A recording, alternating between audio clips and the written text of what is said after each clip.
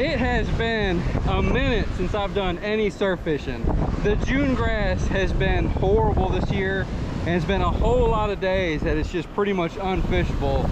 But got some reports this week that it has cleared up a little bit. So just drove around, found an area that looks clean-ish. I don't think it's too bad here at least. And the surf is up today, as you can see. We got some strong southeast winds going on.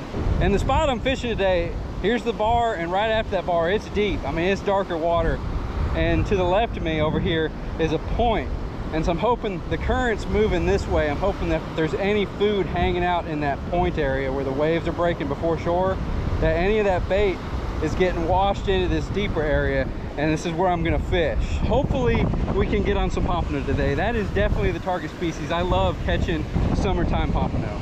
And I just bought an Engel cooler. This is the 19 quart and I've got some ghost shrimp in there today. We are to be using ghost shrimp. That is a primo bait when it comes to summer fishing out here for pompano. But this Engel cooler is sweet. It's got its own bubbler and this is a rechargeable bubbler and there's no moving parts in there. So it will it shouldn't rust it should last a lot longer. And the way they've designed this thing is it goes through the top. So you can actually you know latch this cooler shut not worried about it spilling and the water is supposed to be airtight because it's got this seal around the edge of it. And that also keeps your bait at the desired temperature you're looking for. And part of the reason I haven't been doing a whole lot of fishing lately, and to be honest, is uh, been going through a little bit of creator burnout. I think it's something that happens to everybody, and I've just been going through it. Uh, editing these videos takes a lot of time and effort, and I've been pretty busy with work. And so when I'm done working for the day. I, I, work I work from home, so I'm on a computer all day. And when I'm done working, the last thing I want to do is go sit at another computer in a different room in my house. But getting that itch again, so back out here. And uh, I'm gonna throw it pretty close. Just right, right over the bar there. And the current's moving pretty good. Definitely using Sputniks today. That current, if you can sit here and watch that wash, it's just, it's just moving right along.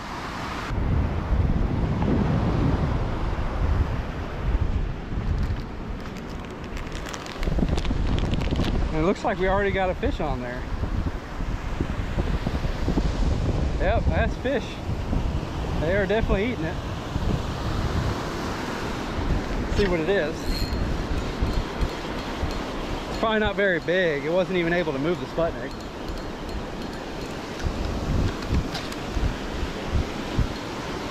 Oh, he's got a little weight to him now.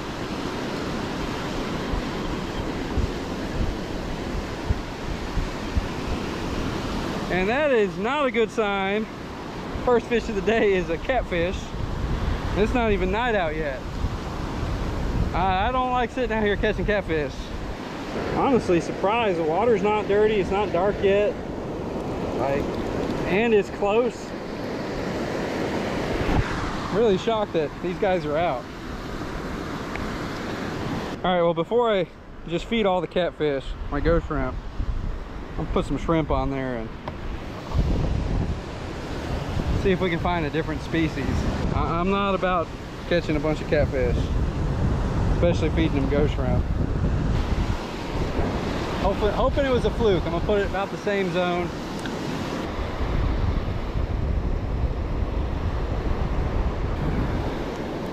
Yeah, it looks like I got another catfish over there. I don't get very excited, obviously. I'm gonna throw this one out and then I'll deal with that cat.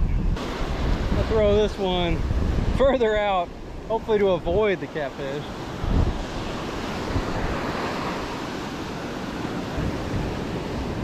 Oh yeah, he's still there.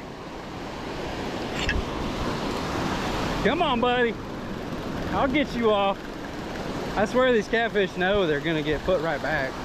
Skate them in. Hard head number two. That guy was on there that long and couldn't even manage to eat my shrimp. Poor guy, I didn't even get a meal out of it. Well, I'm a glutton for punishment, so I'm gonna put it back.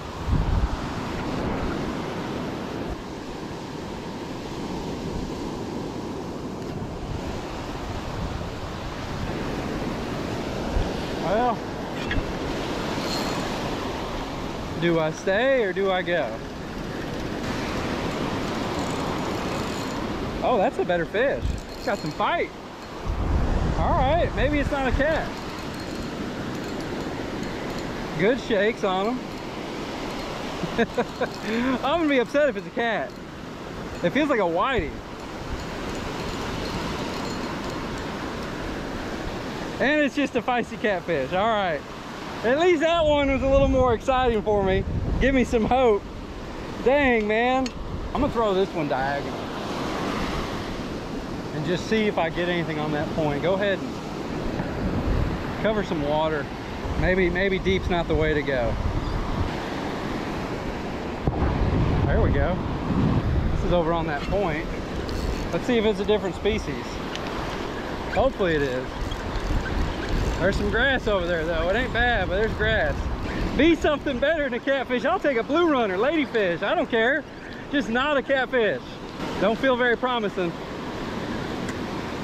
Hard head number four. I think I'm actually gonna move down this way a little bit. Hopscotch my way down that way, and if I keep catching catfish, I'm going home. Look at this beach ball. Got washed in out of nowhere. Who knows how far out that was? Got south winds that carried it right back in. To get it off out of the water. Didn't even have to, at the wind blew it. Nice. It probably crossed the road if I let it.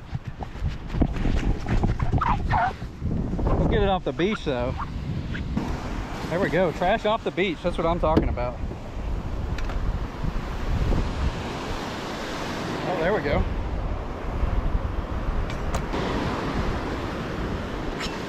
Got a little break from the kitties. Oh, I saw a jump. I doubt that's a cat. oh, yeah, there we go. He's jumping, going crazy. Probably ladyfish, but that's okay. I'd rather catch ladyfish than hardheads. That's pretty funny to get excited about a ladyfish. There he is. I need to get a rod set up for cut bait. I've been, got everything set up for pompano. And I ought to be cutting these ladyfish up and throwing them out for redfish. And honestly, I might just do that. Because uh, it's a trash fish kind of day. Yeah, I'm gonna keep this guy. Go ahead and cut some chunks, put them on a bigger circle hook. See if we can find a redfish or bluefish, something better.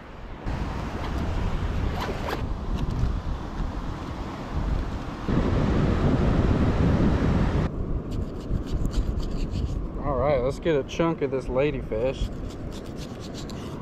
There we go. Nice big piece.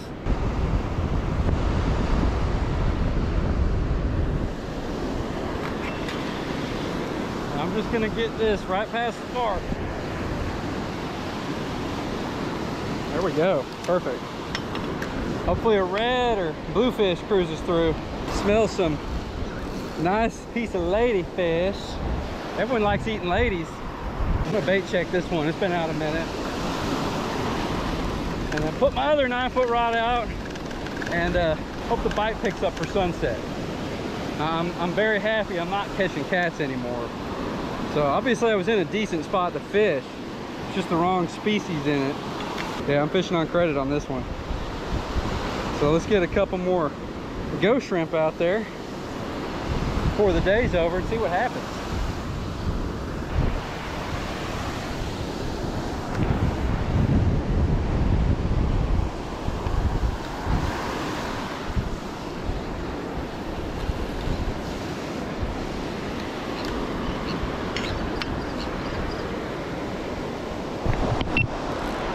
Looks like something's playing with that cut bait. Oh yeah, that line slack. Something picked it up. Oh, he bit me right off too. No, no, wait, wait, wait. There he is, yes. Yes, fish. awesome. Oh, that was such an improv rig too. I'll show it to you after I catch this fish. Oh man, come on, let's see what we got. That's what I'm talking about, man. That ain't no catfish. That was quick.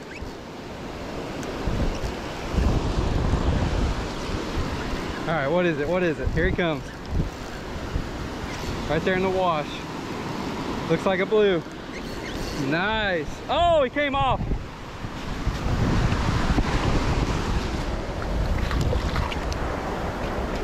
Yes, I still got him. Oh, nice blue fish. He bit me off right at the end. And yes, I laid my rod right in the sand. That's what you do when you want to grab a fish. Nice size blue, good fatty right there. And that was real quick. You can see the hook still in his mouth. I'm not gonna reach in there and lose my finger, but yeah, they got some serious teeth. Can't really see it right now, but they will chomp down and they won't let go. Awesome catch. I mean, that wasn't five, ten minutes. I baited up my other two rods, threw them back out. This guy found that bait. So me tie another rig on, show you that improv rig, and see if we can get another blue. All right, I'm gonna use this hook again too. I mean, it's still good.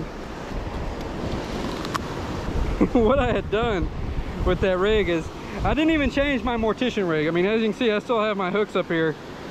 The, the snoods connected, both of them. I got the other one up there with a fish bite on it. And I just tied on that that leader right to the snap swivel where my Sputnik's connected. And it got the job done, man. You gotta improvise. All right, I'm gonna bump that up to 40 pound. I believe I had 30 on there. All right, let me tie another one on. Got another one rigged up, 40 pound. I use the uni knot as my snug knot. And I actually snell the hook. Done a lot of research and there's actually an improved hookup ratio when using snells versus a regular snug knot. So that's why I do it. All right, let's get another chunk of lady. I told you everything likes eating ladies.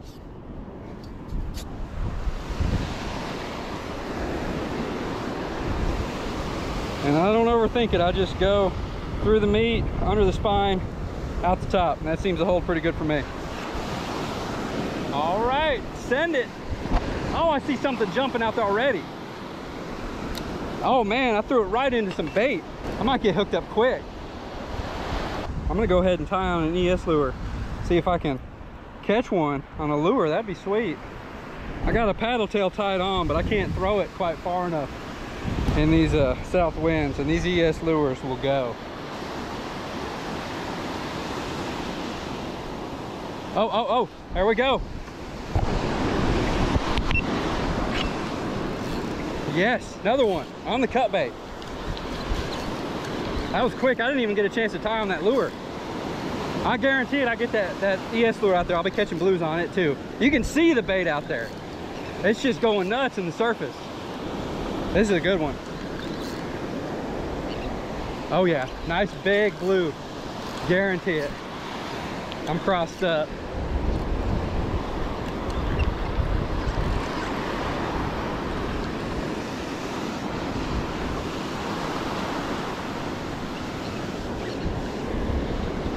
Yeah, I'm all I'm all wrapped around it. Nothing I can do about it. Oh man, those birds are going nuts for that bait. I need to get that ES lure tied on. Come on, buddy. It's a good fish. Hopefully that leader lasts. Just keep pressure on him. He should get in. Yeah, another big blue. Sweet. Yeah, those blues are out there going nuts for that bait. That's a good one. He's probably 16, 18 inches long. Get this guy back real quick. Get another chunk out there.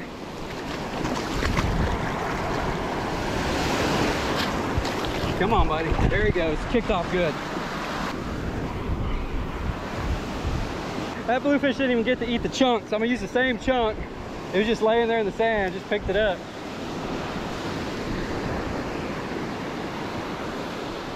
right in the bait. All right, I'm gonna reel this one in. It got tangled up. And uh, I think I'm pretty much done with the ghost shrimp. I got a couple rods still out. You know what, there might be a fish on here. I think there is. Yeah, there's a fish on it. Oh, it's a kitty. Yep, little cat. Who knows how long that guy's been out there. That's why my lines got tangled. He had swim sideways somewhere. See you, buddy. You watch, I'll throw this lure out and one of these rods will go off.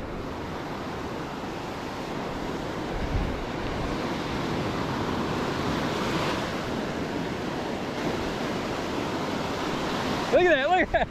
Oh, I didn't even get my lure back. Rod already went off and that's my cut bait rod. Oh, I can't leave that out there with the current. It's gonna get tangled up.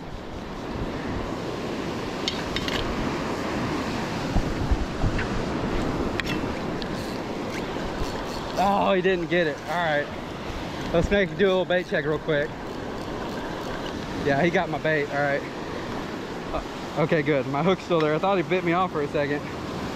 And I cut my bait in the sand because I don't like getting blood and crud all over my cart or cooler. And I believe this is a 4-aught owner hook.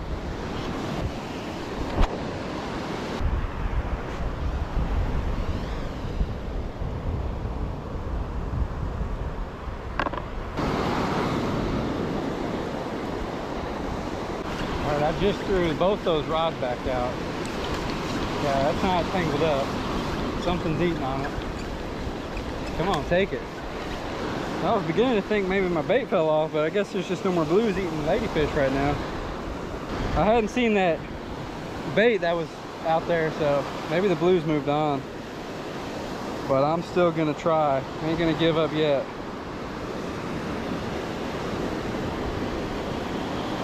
Yeah, that line slack, there's a fish on it. Let me catch, yeah, oh yeah, oh yeah, there's a fish on it.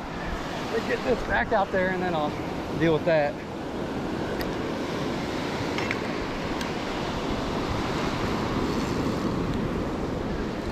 Oh dang, he's starting to hit.